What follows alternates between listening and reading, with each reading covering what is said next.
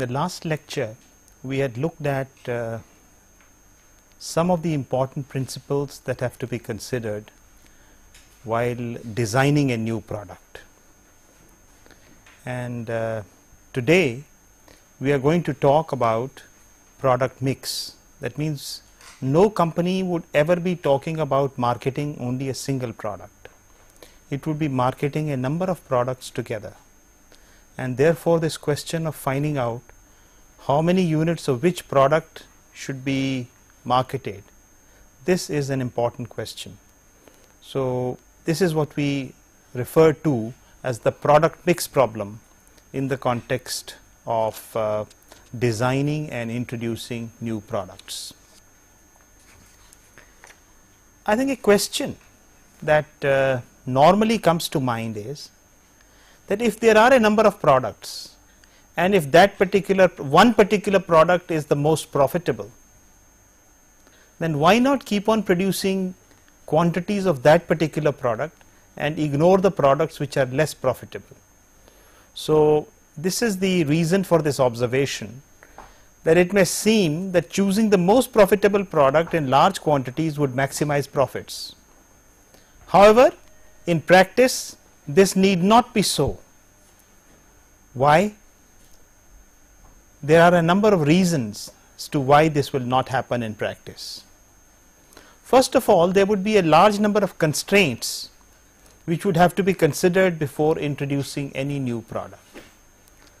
Typical constraints could be for instance demand constraints. When we talk about demand constraints, what we are talking about is that the quantities to be sold of individual products could be limited by the market demand for those products and therefore, it is not entirely in your hands to be able to sell as much of the product as you want even if the product is most profitable. So, these are very significant constraints which have to be considered. Commitment to produce multiple products might be made by the company. It might have already committed to a large number of customers that it would supply some products. Some of the products may even be, be becoming obsolete, but for the sake of goodwill of the customer you are committed to producing those products and therefore, you would have to produce multiple products in the whole uh, mix of products that you make. To absorb the risk of uh, producing only one product, you have all heard of that phrase do not put all your eggs in one basket. So, most companies are not are risk averse and they would like to make sure that they do not put all their eggs in one basket. So, if this is so this means that the option they have at their disposal is to produce in a large number of products and uh, so that the risk can be shared by those products. Another common reason for introducing variety as far as product mix is concerned is to expand the customer base. So, what happens typically is that uh, one product captures a certain fraction of the market. If you introduce another product, that product will probably capture another segment or an overlapping segment of the market. So, if you have a large number of products, you probably cater to a large number of customers. What is the reason that a company like Coca-Cola for instance makes not only Coca-Cola, but also a number of you know Fanta and uh, uh, various kinds of drinks which are there. The reason is only to capture a greater customer base and introduce product variety as a consequence. Another reason for the introduction of uh, products in the market, new products, is utilization of resources. Quite often with one product you might not be able to utilize all the existing resources that you have and therefore, you might want to introduce some related products so that your resources are better utilized in that sense. So, this could also be a consideration. So, it becomes therefore almost imperative for a company to introduce variety, introduce a large number of products together and talk about developing a product mix. So that's the problem that we are addressing ourselves to today. How to determine the optimal product mix for a company and we are going to examine a number of different situations and a number of mathematical models which can be used for answering this particular question.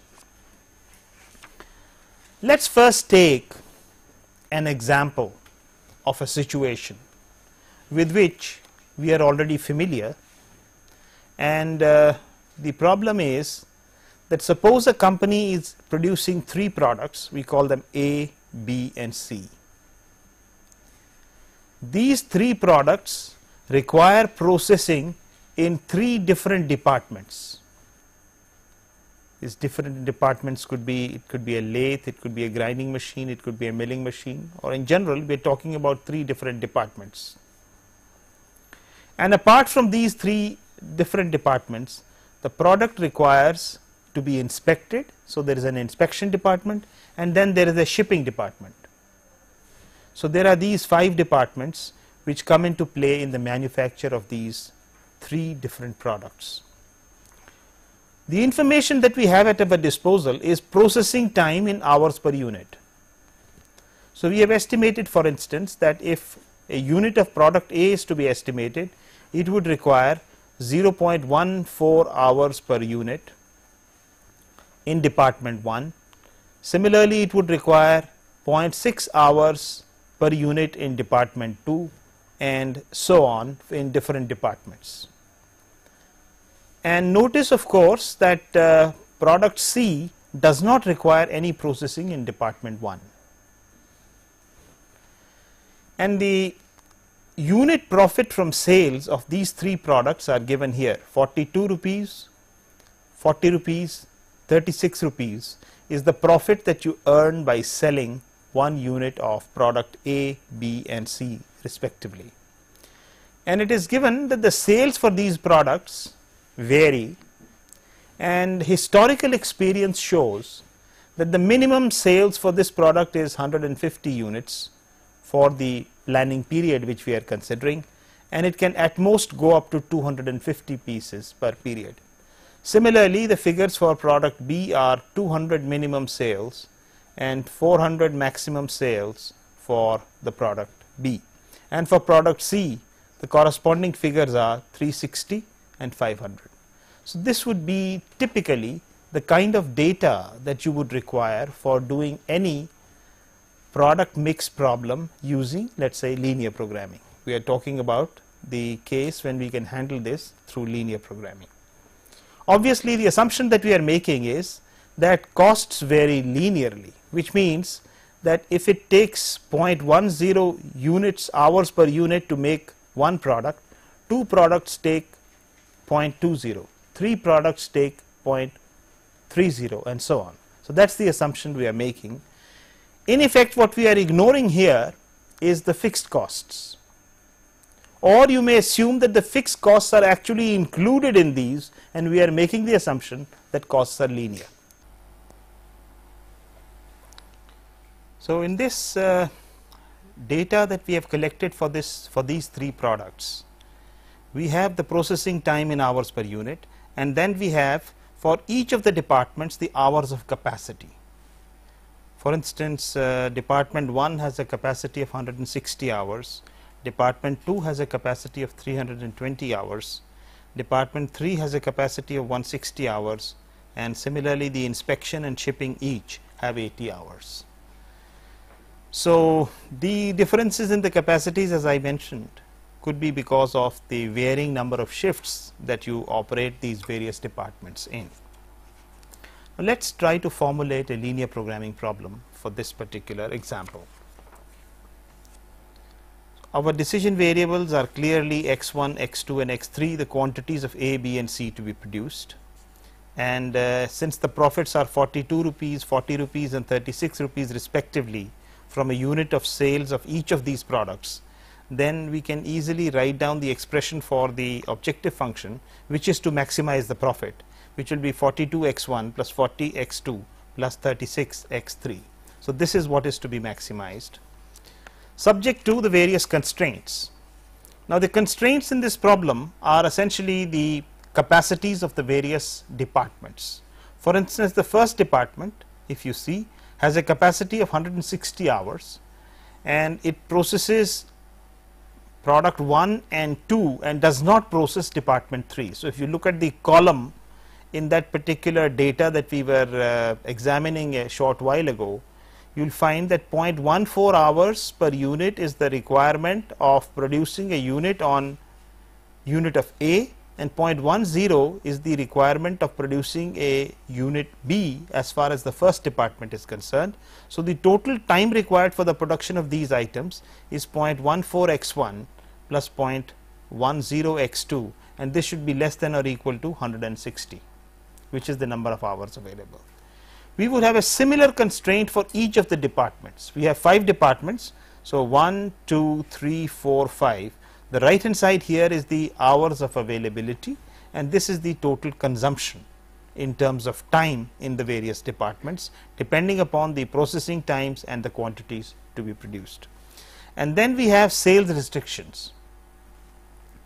The typical sales restrictions for this problem are that x 1 that is the quantity uh, demand for the first product should lie between 150 and 250 so, we have a constraint saying that x 1 is greater than or equal to 150 and less than or equal to 250 and we would have similar constraints for the other two products. Product 2 for instance has a sales which will lie between 200 and 400. So, we say x 2 should be greater than equal to 200 and less than equal to 400 as shown here. And similarly, the third product you have should be the demand lies between 360 units and 500 units so, what we are basically interested in is developing these constraints. So, we have the total number of constraints for this problem is going to be we have 5 of these constraints one for each department. Then for each of these 3 products we have an upper bound and a lower bound constraint. So, 6 such constraints. So, the total number of constraints that we have is 11 and we have uh, 3 variables 3 decision variables x 1 x 2 x 3. Now, the solution to such a problem can easily be obtained by using any one of the computer packages which are available. You may use for instance Lindo or Micromanager which is available in the industrial engineering laboratory and uh, we will therefore not go into the solution techniques because you are already aware of the ways of solving linear programming problems. So, if we look at the solution from a package we find the following we find that the total profit is 28,016 rupees and the values of x1, x2 and x3 the optimal values of x1, x2 and x3 work out to 168, 200 and 360 units respectively. Now, apart from uh, this information about the product mix, so this is the optimal product mix and this is the profit that you get from this particular product mix. There is some useful information that you get from the output of a typical LP package and I am just pointing out here uh, some things that need to be emphasized. For instance, in the optimal solution it is found that only three constraints are satisfied as equalities and these are the three constraints which are satisfied as strict equalities. The other constraints that means out of the 11 constraints only 3 constraints are satisfied as strict equalities. That means uh, the left hand side is exactly equal to the right hand side and so on. This particular constraint as you can see is nothing but the utilization of a particular department. You can see for instance that this pertains to uh, let us check up from the uh, data as to which department it refers to. You would see for instance that uh, if you look at the problem we are referring to the shipping department here. So, this is a constraint corresponding to the shipping department which says 0.10 x 1 plus 0.10 x 2 plus 0.12 x 3 should be less than or equal to 80 which is the capacity of the shipping department in that sense. Since this constraint is satisfied as an equality and similarly we have x 2 is equal to 200 and x3 is equal to 300. For all such constraints which are satisfied as strict equalities, you can calculate a shadow price or a dual variable. And these shadow prices or dual variables are available in the solution that you obtain from any package. The interesting thing about the dual variable really is that here corresponding to this constraint which pertains to shipping, the entire 80 hours of shipping are currently being utilized and the shadow price for this particular constraint is 420. What it shows is that if you increase the capacity of the shipping uh, section by one unit that is make it from 80 to 81 the contribution to the profit is likely to be 420. So, the dual variable or the shadow price gives you very valuable information as to which particular capacities to increase and which not to touch. The other capacities which are all uh, equalities at the uh, which are all inequalities at the moment they need not they would not contribute to the objective function. For instance this is being utilized fully so increase in one unit will do. Now take this particular constraint the constraint says that this is a greater than equal to constraint which is 200 it is a negative value the significance is that if I reduce this by one unit the profit will go down by 2 units. That means if the market demand, this is the market demand, currently you are selling 200 units. So if the market demand falls by 1 unit, your profit will fall by 2 units, that is the implication. Similarly, this one is greater than 360 units. So if this falls by 1 unit, the profit is likely to fall by 14.4 units. So linear programming is a very worthwhile tool which can not only determine the optimal product mix and the corresponding maximum profit, but it can also give you very useful hints on how to improve your profits and where to invest for improving the profits. So I think this is another point about linear programming which uh, needs to be carefully understood and uh, applied when you are dealing with real life problems.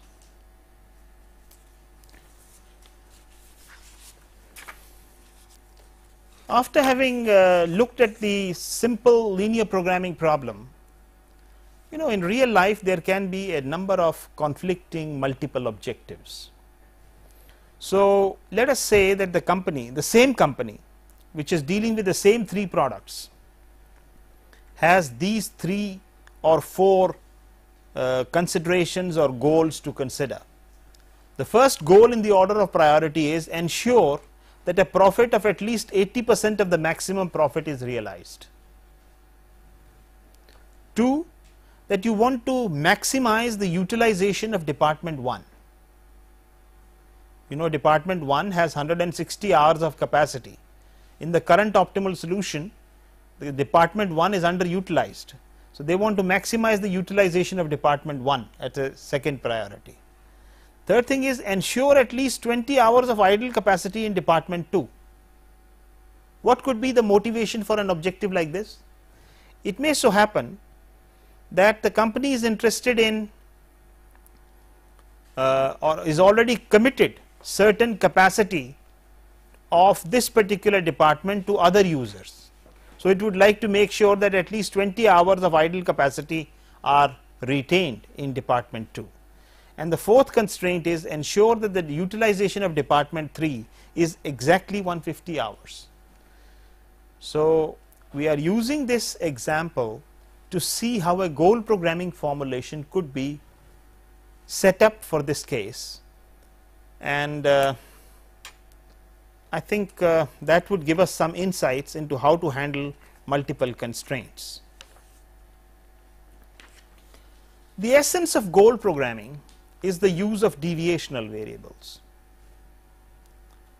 And uh, what happens is that what is a deviational variable? A deviational variable is that if you set up a target for something, so this is my target. Now in an actual situation I might overachieve the target or underachieve the target. So, we use two kinds of variables called overachievement variables and underachievement variables denoted by D plus and D minus respectively which tell you how to achieve the target. For instance, suppose you are aiming for getting marks of 75 in a particular course and uh, if you overachieve your target for instance if your score is 90 you have overachieved your target by 15 marks. However, if you get 50 you have underachieved your target by 25 marks. So, basically these deviational variables measure whether you have overachieved or underachieved the target and mind you in goal programming we are always dealing with targets unlike linear programming. In linear programming you are always trying to choose a favorable direction and you are trying to maximize or minimize your uh, travel on that particular direction. For instance, you choose profit and you say I want to maximize profit and when you are maximizing profit in linear programming you are essentially saying that okay this is the road to profit I want to go as far as possible without saying how much you want to go on that road. Whereas in goal programming we set up milestones on that road and we say okay we would like to have a profit of at least 2 million rupees. So, we have set up a milestone on that road and in goal programming we are more concerned about achieving those milestones rather than trying to maximize or minimize as the case may be. The goal programming objective function then is set up in terms of these deviational variables. So, this goal programming objective function is a function of only deviational variables. The objective function is always a minimization function because you are talking in terms of minimizing the deviations from targets and it is priority wise or hierarchical in nature. That means you choose a set of priorities and work according to that particular set of priorities. So, these are some of the basics that are required for understanding a goal programming formulation. In goal programming, which is actually an extended version of an LP formulation, there are two types of constraints. First type of constraints are called goal constraints. there is a goal constraint one for each goal. So, this links the goal to the deviational variables and then of course, there are the system constraints which are the original constraints that appear in the LP formulation. So, we will try to develop for our example both the goal constraints and the system constraints, so that we have the complete goal programming formulation.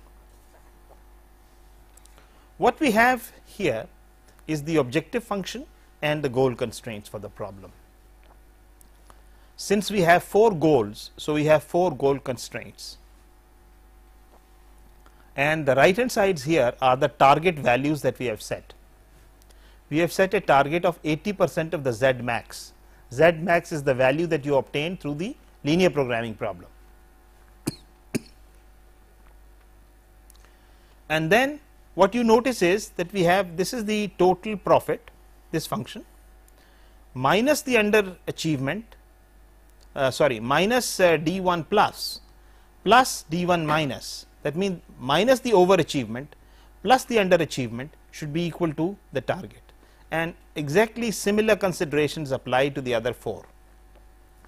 For instance, here this is the total uh, utilize the total uh, hours consumed in the first department minus the overachievement plus the underachievement will be equal to 160. So, this is the same concept that you can either overachieve or underachieve you do not know. That is why we have both the variables. And remember these variables are such that only one of these variables will be in the basis at an optimal solution. Because if you are aiming to achieve 75 marks you will either get more than 75 in which case D plus will be in effect or you will get less than 75 in which case D minus would be in effect and the other deviational variable will be 0. So, we write down these uh, deviational variables corresponding to the first constraint the second constraint, the third constraint and the fourth constraint and we write these and these are nothing but the goal constraints. That is what we mean by the goal constraints. Now, look at the objective function. if your objective function the P1, P2, P3, P4 refer to the priority levels. The first priority goal is to ensure that you get at least 80 percent of this profit is not it. So, what we want to do is that the negative deviation from this should be minimized. We would like to have the negative deviation from this to be 0 ideally is not it. So, that is why we include this in the objective function. Similarly, the second one we want to maximize the utilization. Now, maximum utilization possible as you know is 160 hours and uh, plus is if you overachieve it, minus is if you underachieve it. So, d2 minus is what you want to minimize. So, d2 minus is taken in the objective function.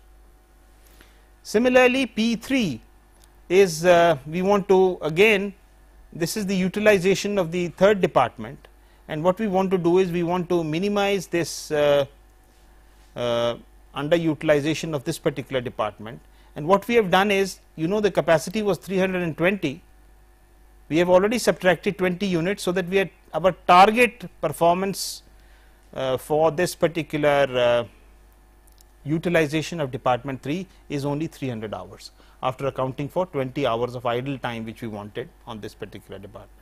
So, then you want to minimize D3 minus. So, you have this.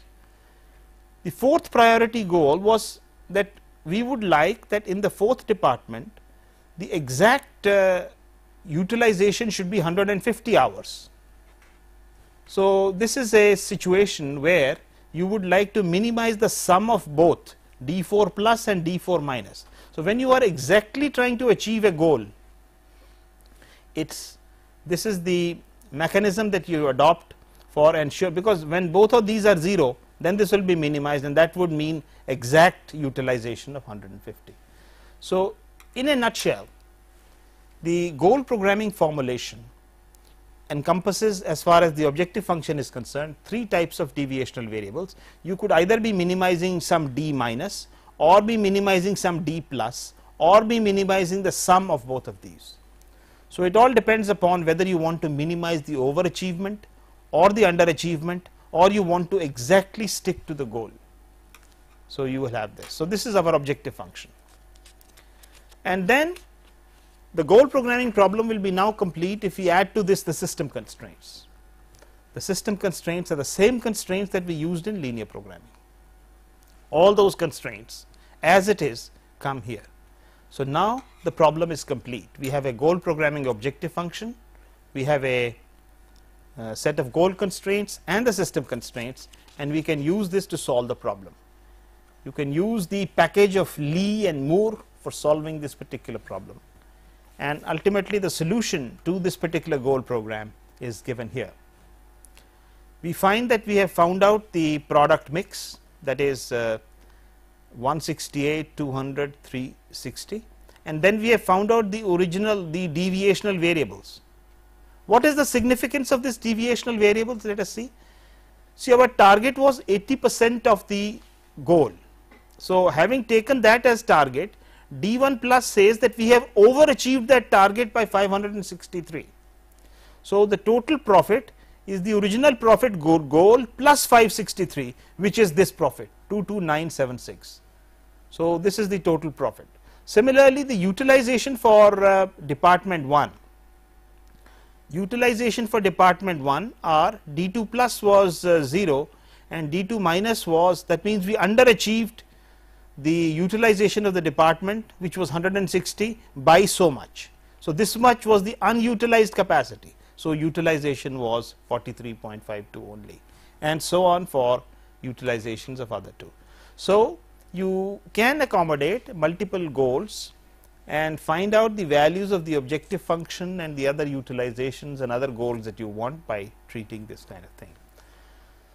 So, goal programming is basically as I said an extension of linear programming in which we could uh, accommodate a variety of goals and uh, solve the problem. Let us look at a third problem in the context of the product mix. Let us look at this problem of what we call the unconstrained stochastic product mix. So far we have assumed that the product demands are deterministic.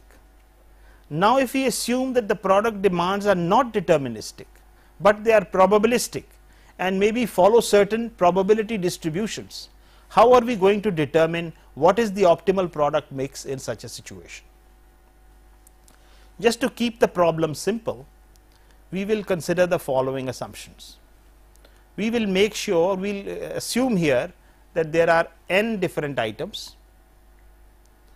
These n different items have uncertain sales potential. That means we do not know exactly how much each item will be able to sell and the demand for an item is a random variable with a specified probability density function that is what we will assume. Okay and this would be something that would come to you from experience right.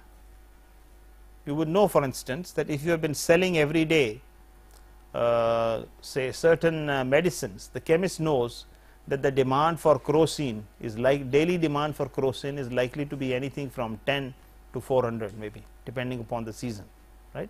Whatever it is. And uh, you could probably fit some suitable distribution to that. And we will assume that it is a short duration sale just to simplify things so that we do not have to consider other types of costs and there is no opportunity to reorder. Let me give you some examples of this situation. For instance, if it is known to a company, suppose uh, a number of companies are preparing for setting up an exhibition at Pragati Maidan and this is going to be a short exhibition of let us say 3 days or 4 days and they want to keep different items for sale and each item has a probability distribution for sales. That is what we are trying to say. So, what we are the question that we are trying to address is how much of each item should this company stock in the sale such that its expected profit is maximized? Right? And uh, the maximization of the expected profit should be subject to the consider consideration that during this period of the sale which is a short term sale we are not allowing fresh consignments to come in that means whatever they have brought in the beginning only that so either they will have sell everything or they will have shortages as the case may be but we are not allowing for new replenishments during this period that is it okay this is the basic idea in fact uh, jocularly this is the problem of the sabzi wala who goes to the mandi every day. Right? Every day in the mandi he has to buy different vegetables So, these are the products. He knows from past history the demand for each of these vegetables. आलू जो है 10 kilo और 15 kilo के बीच बिकता है and so on. भिंडी इतनी बिकती है. So, this assortment of vegetables he has to buy. He has to decide every day how much of vegetable to buy each day such that this is an ongoing affair. Every day he will have to do this decision such that his expected profit is being maximized and once he brings the sabzi to his shop he will not be able to go to the mandi during the course of the day to bring additional sabzi. So, we are basically talking about that situation. So, this is the second example. The third example that I can give you is for instance the take the case of perishable commodities. All perishable commodities like medicines, foodstuffs they have a shelf life so, a typical supermarket might be interested in finding out the quantities of different items to stock for a certain period such that their expected profit is maximized assuming that there are no further replenishments during that period because the replenishments from a chemist or something generally come only on a particular day on Mondays when the supplier comes and gives you the supplies in that sense. So, this is the kind of scenario that we are trying to model here. So, uh, let us look at this problem. Let us first introduce some notation to formalize the problem. Let us say xi is the initial stock level of item i. So, this is our decision variable. We won't need to find out how much of each item to stock. Ci, small ci is the unit procurement cost of item i.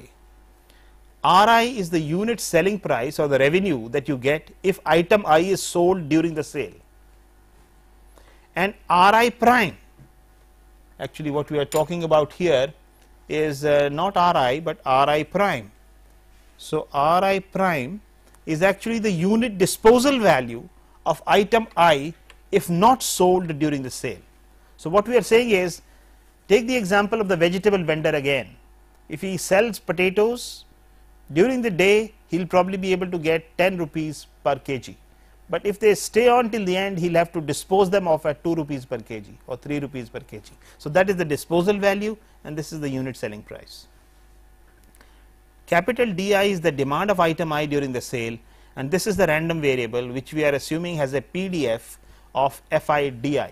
So, this is an arbitrary PDF, it could be a normal, exponential, Erlang, any distribution that you want. Okay. So, in general Fi di and Z is the contribution to profit and overhead from the sale.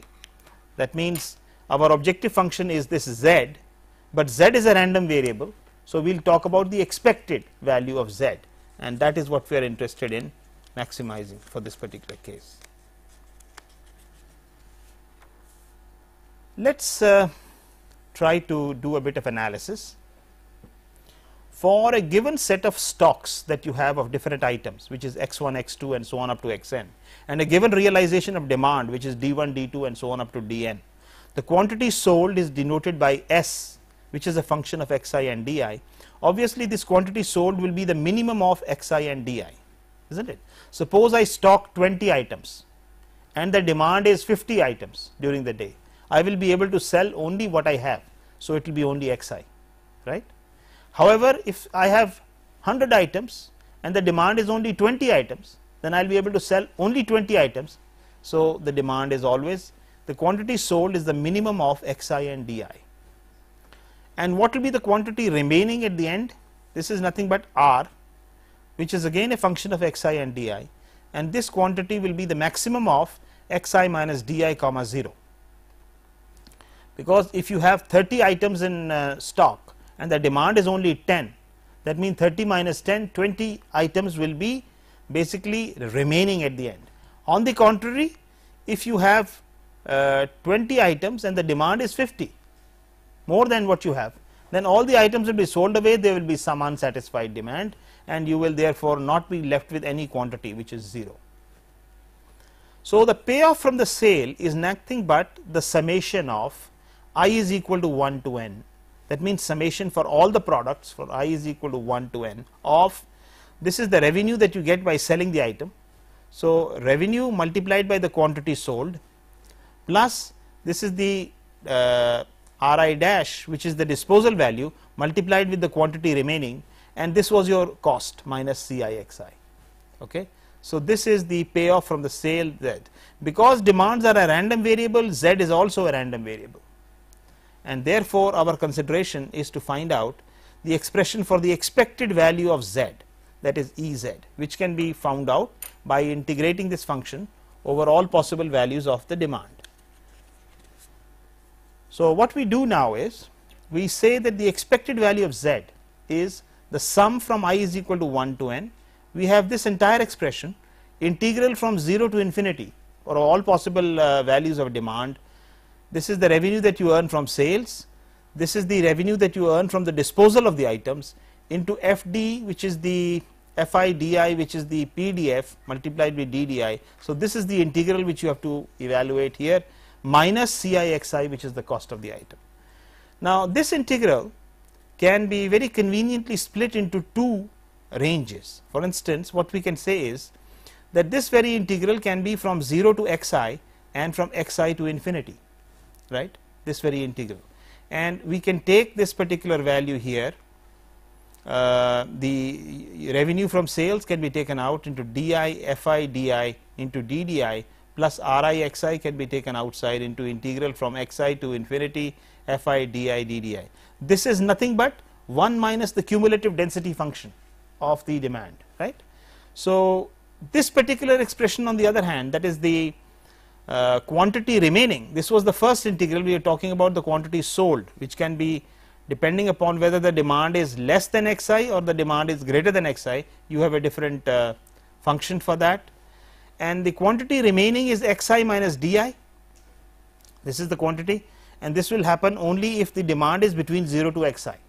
If the demand exceeds xi this quantity will be 0 so in this second case the integral will on the second part of the integral will not be there So, if you just rearrange the terms you get this expression that the sum of all the products from 1 to n Ri minus Ci into Xi plus Ri minus Ri prime integral from 0 to Xi di dd fdi ddi minus Xi fi Xi is basically the expression for the expected value of z.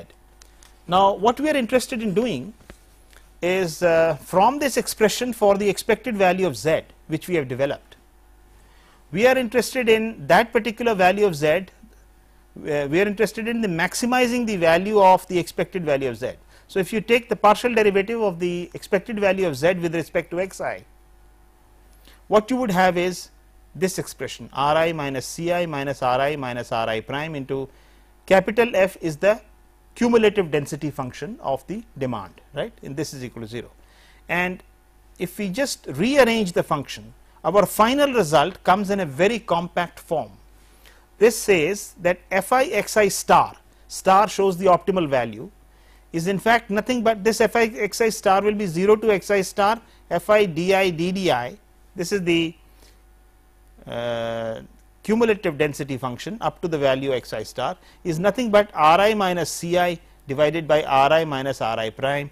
And there would be one such equation for each product. So, i is equal to 1 to n. So, you have n such things and these equations would in fact be pretty simple to evaluate because what you would have to do is the right hand side is a constant Ri minus Ci this is the revenue this is the cost that you get for the item this is the revenue and this is the disposal value. So, this is a constant. So, particular value of the constant if you equate it to the CDF of the demand you know the value you can find out what the corresponding value of xi star would be from the PDF of the distribution or the CDF of the distribution. Let us take an example to illustrate this approach. Let us see, let us say we have a simple problem of the stochastic product mix in which we have 3 products 1, 2 and 3 and these 3 products have unit cost of 10 rupees, 20 rupees and 30 rupees. And the revenue from sale if you can sell it during the sale during the Pragati Maidan sale then this will cost you 20 rupees uh, this will earn 20 rupees 35 rupees and 50 rupees respectively. However, if these are not sold during the sale then you will probably have to sell them off for a lower value than the cost even. And so these costs are 5 rupees, 10 rupees and 20 rupees. In fact, classically this problem is also known as the newsboy problem because a newspaper man who has to buy newspapers every day and sell them the demand for newspapers is also a random variable and he does not know how many to buy such that at the, the, during the whole year his expected profit is maximized. So, here we are taking a situation where the news vendor buys uh, the Hindustan Times, the Times of India and India Today. And each one of them is priced differently. Each one has a demand which is given here. So, this is the case. And what we are saying here is that each uh, product has a range of demands. It has 150 to 250 0 to 400 and 100 to 300 and for simplicity we assume that all demands are uniformly distributed. They could follow any distribution so we assume that they are uniformly distributed. So in order to solve this problem what we need to do is look at the uniform distribution first. So, a uniform distribution is like this. We are saying that the minimum demand is ai for the ith product and bi is the largest demand for the ith product. So, the PDF of this particular demand is a rectangular function and this particular value will be 1 upon b minus a because in a valid PDF the total area must be 1 okay? And the CDF for this particular function will be a ramp function going from ai to bi and uh, at any particular arbitrary value of xi lying between ai and bi you can from similar triangles develop this particular relationship. Because what you can say is at this particular point what is the value of the PDF it will be this area. So, this area is nothing but 1 upon b minus a into xi minus b. So, if you then so this is my cumulative density function fi xi which is what it is this area here. So, I can develop a relationship directly for xi equal to ai plus bi minus ai into fi xi which will be valid for all uniform distributions. Now, you might be wondering as to why I am doing this. You will have to do this because if you want to solve that particular model, then you will need the values of xi corresponding to a given value of the uh, cumulative density function. So, this is an equation which will very easily help us to do that. Okay. So, let us uh, try to solve the problem. All that we need to do is we have to calculate f1 x1. What is f1 x1? F1 x1 is nothing but r1 minus c1 divided by r1 minus r1 dash. Okay? So 20 rupees is the cost of this item is the uh, revenue uh, that you get from this item. So 20 minus 10 cost is 10 rupees. So 20 minus 10 in the numerator divided by 20 minus 5 20 is the revenue and 5 is the disposal value. So this is just 10 by 15 and x1 by using the equation we have just developed this equation I am referring to this very equation. X1 for a given value of xi fi xi can be very easily computed from here. And you have x1 is equal to 150 plus because this is the minimum value of the range ai plus 100 100 is the range of this into 10 by 15 is the value here. So, you get x1 is equal to 216.67. Similarly, the value for f2 x2 can be easily computed and this value is 240 and similarly f3 x3 this value is 233.7 corresponding to the values of the CDF value which is so much you can easily determine what the values of x1, x2 and x3 are going to be. So, this determines the optimal product mix for the stochastic problem. So, it is a very very simple and an elegant solution technique that you have for finding out the quantities of x1, x2 and x3 which will in fact give us the maximum expected profit. Incidentally, how will you compute the maximum expected profit? We had developed the expression for Ez. So, these values of x1, x2 and x3 if you substitute in that expression you will get the expression for the uh, value of Ez. Another interesting thing that can be computed from here and which is of practical significance is that if you buy 216.67 items and each item costs you 10 rupees then the total investment in uh, purchasing item A is so much.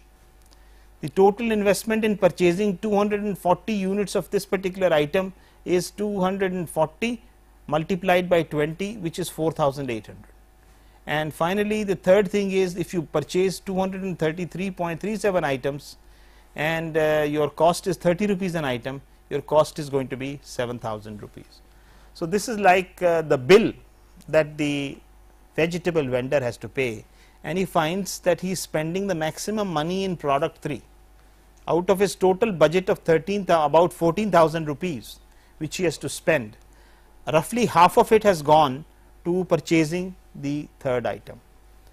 And uh, now so these are uh, very useful insights that you can get into determining the optimal product mix under a situation where the uh, demands are random variables in that case. What we have considered in this particular example is a situation where there are no constraints on the budget right.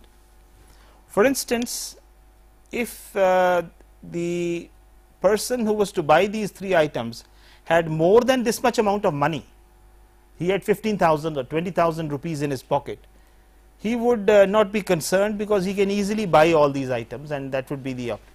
But suppose he had a limited budget of only 10,000 rupees. If he had a budget of only 10,000 rupees, he would have to curtail some of these items so that everything is confined to his budget of 10,000 rupees. So that would be the case of a stochastic product mix with a single budget constraint. We have not addressed that problem, that problem will be addressed in the tutorial classes. But what you can see is that ultimately what will happen is that you will have to cut something everywhere and how much you cut at each of these places is actually determined by the process of optimization. So, that problem can be solved by using Lagrangian multipliers superimposed on this particular problem and we will see how the constraint problem can be solved. Finally, let us look at what we have done today. In today's lecture, we have basically looked at the motivation and considerations behind the product mix problem. We had seen for instance as to why product mix is done because you do not want to put all your eggs in one basket because there are different kinds of constraints which we enumerated. So, you have to be careful about and you have to be aware of all those things as to why the product mix problem becomes important. And then in this lecture we looked at some commonly used formulations of product mix illustrating them with examples. We looked number 1 at the linear programming formulation which is a classical formulation and is still a very very useful mode of solving this particular problem.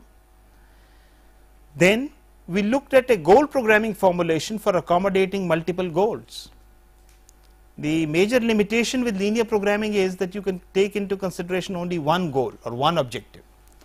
So, goal programming problem, uh, formulation which takes a number of deviational variables can accommodate multiple goals.